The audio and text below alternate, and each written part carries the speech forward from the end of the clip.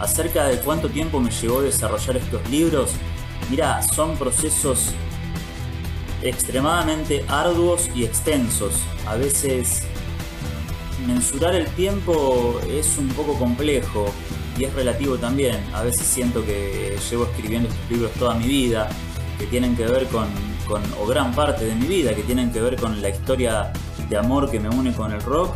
desde aquella tierna revelación en la adolescencia que fue conformando estos, estos eslabones que hacen al gran melómano y de forma paralela lo que fue el, crecimiento profesional en mis labores como cronista musical y cultural. En realidad hay, hay algo que tiene que ver con los, con los procesos editoriales que atravesamos como escritores, que son procesos inclusive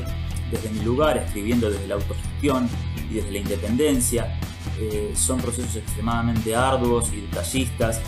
sobre todo en este tipo de abordajes retrospectivos hacia, la historia del, análisis de un lenguaje, como es el lenguaje musical y el género rock en este caso, pero lo que tiene que ver con un gran detalle a la hora de revisionar textos escritos que yo llevaba producidos a lo largo de la última década y media y revisionar esos textos, muchos de ellos ya publicados en sitios web,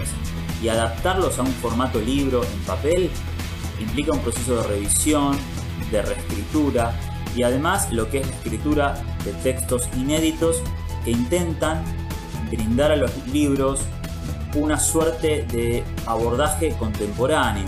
que no solamente sea anclar una mirada hacia el pasado, retrospectiva, histórica, revisionando la historia del rock, que lo es por un lado, pero también la intención, junto con la editorial, de darle a este material un fuerte rasgo presente, que pueda evaluar un estado contemporáneo del rock de los últimos cinco años, digamos, y tener en presente también las producciones que ha habido al respecto. De manera que mm, hubo un gran trabajo de selección de material, como te contaba anteriormente, del material que fue descartado y que no entró en los cánones conceptuales de la serie Rockeros, y que me encontré con una cuantiosa cantidad de artistas y bandas, los cuales me había tocado transitar, escribir, consumir a lo largo de mi vida, y que sí forman parte de estas crónicas melómanas. De manera que el proceso en general podría decirte que llevó cerca de un año calendario, desde junio del año pasado hasta abril, que llegaron los libros a las, a las librerías, a nuestras manos. Y bueno, fue un proyecto, la verdad, muy querido, muy trabajado y que tiene además un gran trabajo de diseño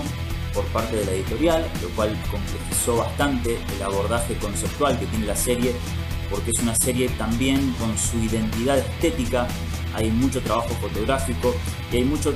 también mérito por supuesto de la editorial y también mucho trabajo de investigación en lo que tiene que ver con el detalle técnico. Tiene no solamente relatos, ensayos en primera persona,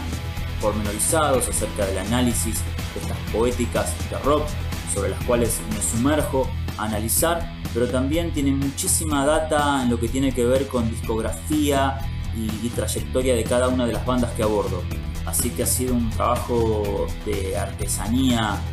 pura eh, y que ha requerido de muchísimo detallismo y nivel de precisión hasta la obsesión, te diría, con la intención de poder llevar el, mejor producto posible a través de estas casi 300 páginas que tiene cada libro que se compone aproximadamente cada uno de ellos de ensayos eh, que creo que deben totalizar en cada volumen eh, un centenar de ellos.